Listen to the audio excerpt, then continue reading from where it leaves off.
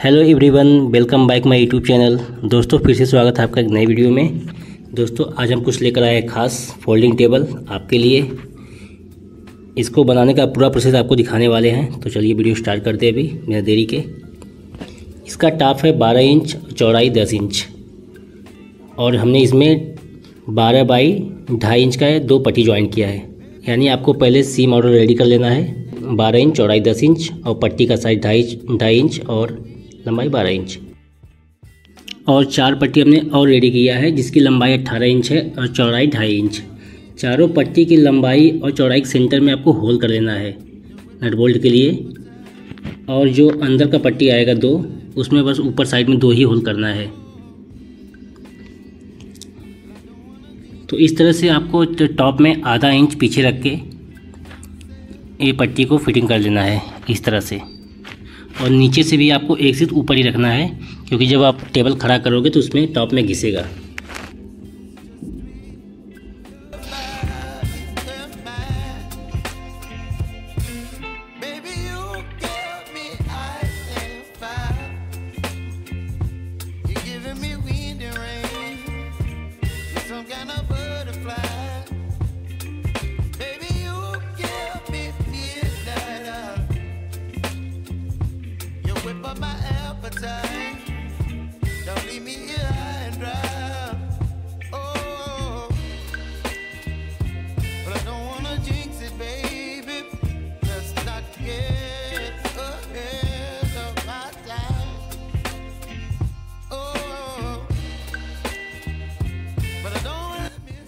इसके बाद हम दूसरी पट्टी लेकर हमने जो सेंटर में होल किया था पट्टी के, उसमें हम पट्टी फिटिंग कर लेंगे।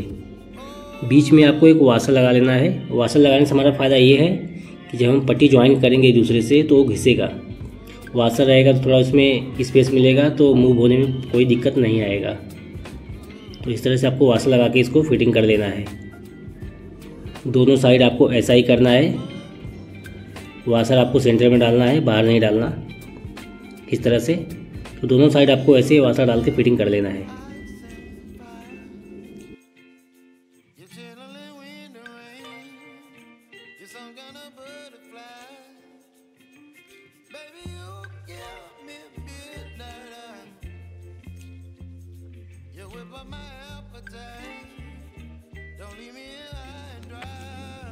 इसके बाद हमने जो अंदर पट्टी टाइट किया है, उसके बीच में एक हम छोटा सा पीस फिटिंग कर लेंगे। इसलिए क्योंकि हमारा अगर पट्टी रहेगा तो डिसबैलेंस नहीं चलेगा।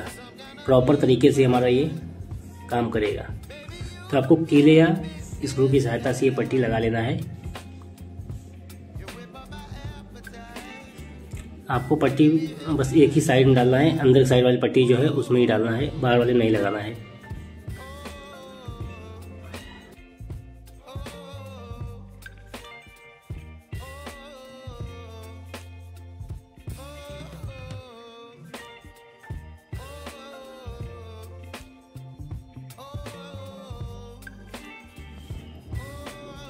एक छोटी पट्टी आपको टॉप के अंदर भी फिटिंग करना रहेगा, तभी ये रुकने वाला है, नहीं तो रुकेगा नहीं, ऐसी इस तरह से। हमने जो अंदर का पट्टी लगाया, उससे थोड़ा कम रहेगा तो कोई प्रॉब्लम नहीं है, बस रुकने के लिए लगाना है। आप चाहे तो पट्टी के जगह पर पीवीसी बुश भी लगा सकते हो। पट्टी लेकिन सबसे बेस्ट है, अगर लकड़े का पट्टी है तो और अच्छा है, ये तो प्लाईवुड है। अगर लकड़ा है तो सबसे बेस्ट है, क्योंकि पूरा पूरा बैलेंस उस पर ही आने वाला है।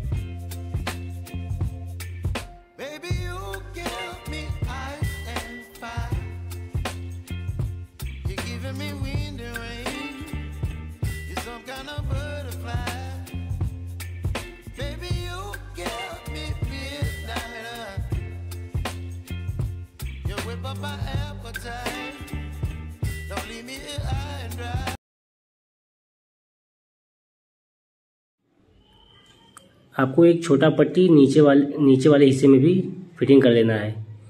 क्योंकि दोनों साइड से अगर पट्टी रहेगा तो बराबर बैलेंस रहेगा इस तरह से। बाहर वाला जो हमारा फ्रेम है, उसमें टाइट नहीं करना है। बस जो अंदर का फ्रेम है, उसमें ही टाइट करना है, ऊपर और नीचे। क्योंकि वो दोनों साइड से उसको दबा के रखेगा। डिसबैलेंस नहीं होने देगा इसलिए हमको दोनों साइड पट्टी लगा लेना है।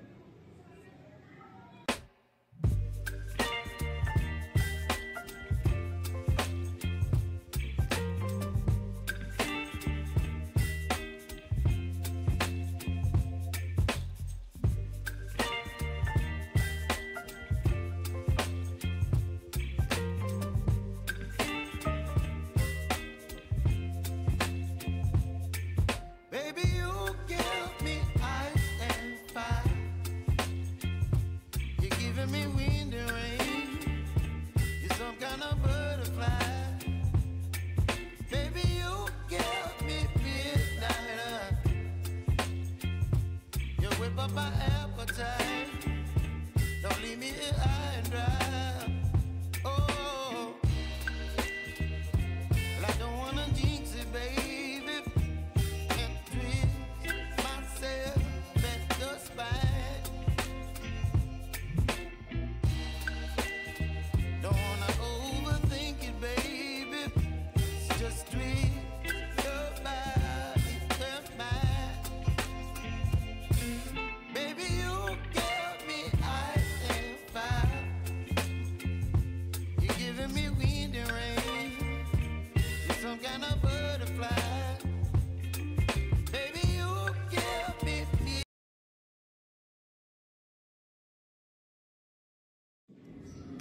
तो आपका टेबल बनकर पूरी तरह तैयार है। देखिए, हमने जो इसमें लेमिनेट यूज़ किया है, वो है वुड कलर का। और इसका एज जो वाइट दिख रहा है आपको, आप चाहे तो एज बैंडिंग लगा सकते हो या इसको पेंटिंग कर सकते हो।